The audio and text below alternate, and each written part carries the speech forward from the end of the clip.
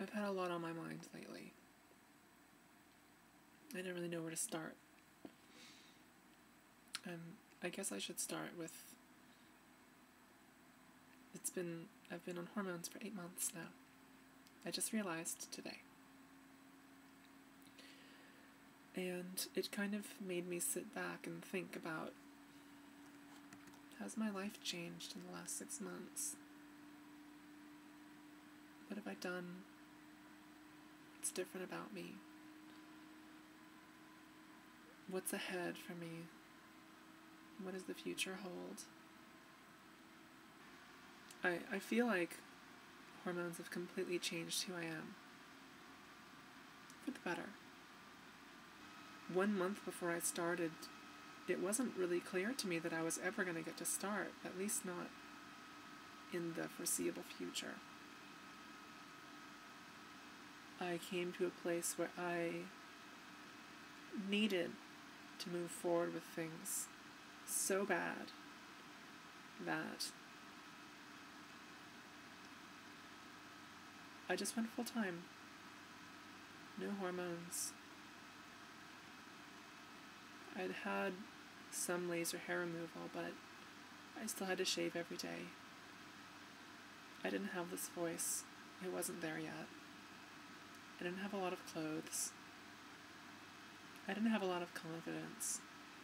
I just needed to live it. So, since I started hormones, I've been frustrated with how long some changes have taken. I've been mystified by changes that have happened. I've been unstable in certain ways. I felt healthier, but things got hard for a different reason. Because I was living full time and asking people to consider me Samantha and consider me a woman. But I think that it was so hard for people because they kept seeing this boy that they'd known for a long time. And I didn't feel like I was being accepted as a woman. I felt like I was being tolerated as a queer boy. You know, I was pretty much on the verge of a breakdown a couple of times. I had a pretty rough day today. I'm getting over being being sick and I was pretty exhausted at work. And I just had a bad day.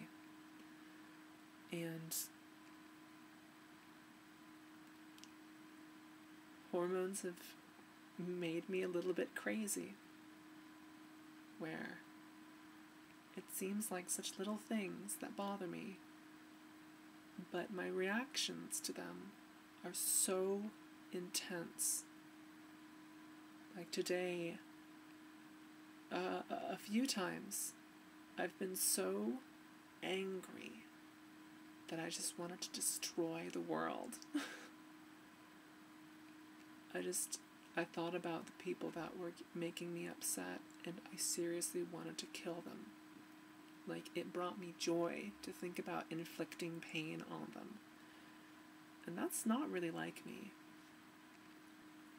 Most of the time, I'm pretty level headed, I'm pretty objective. I can look at things from different angles and not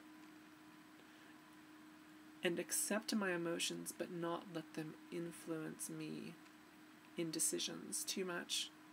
Okay, maybe that's crazy. Maybe I've always been an emotional person, but I feel like it has a time and a place. And I find it harder to draw that line lately.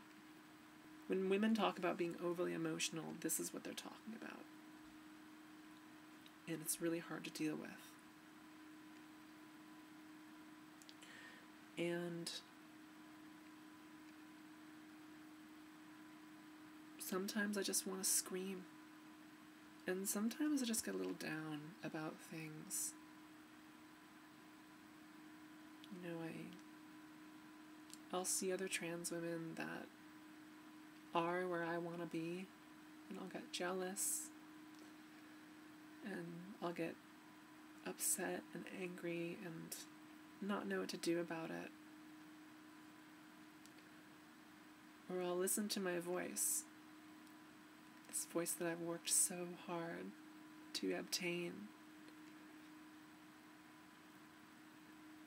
And I know it's a good voice. But I I remember that it'll never be a natural woman's voice. I'll never be able to sing soprano.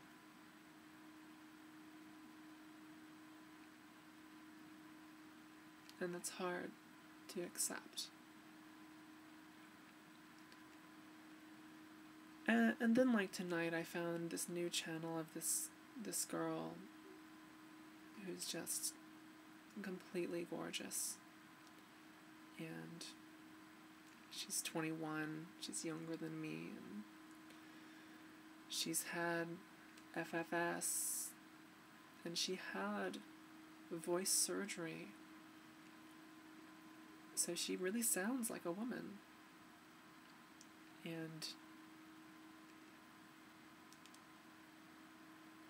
I just get discouraged because I want to look that beautiful but not have surgery on my face. I don't want someone to cut into me, rearrange my bones, and stick plastic in my cheeks, and inject fat into my lips, and scrape away the bones on my forehead. I don't want that stuff. I don't want anyone to do that to me. I just want the effects. I wish I could take a pill for it like I did hormones, but I can't.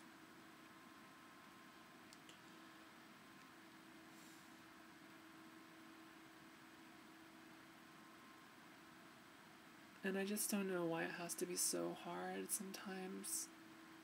Even when I know I'm doing so well.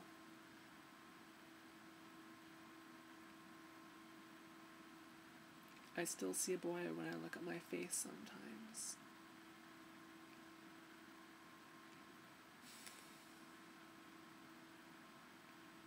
And it's my face. But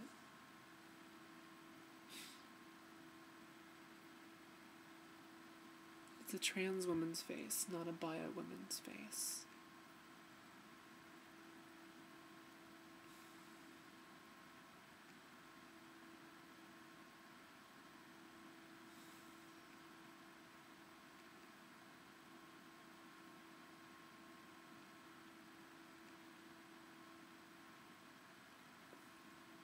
I just did this video on Tranny Star Galactica last night about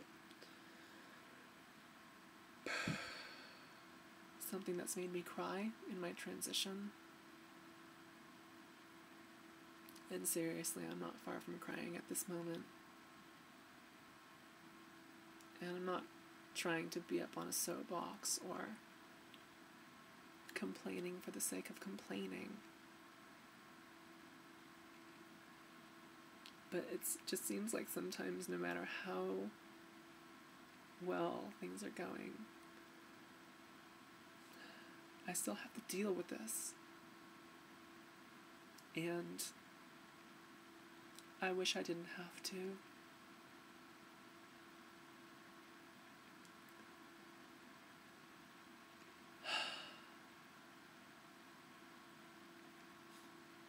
yeah this is definitely one of those days where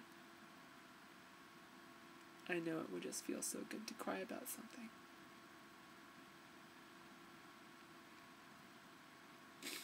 So I'm gonna go do my thing.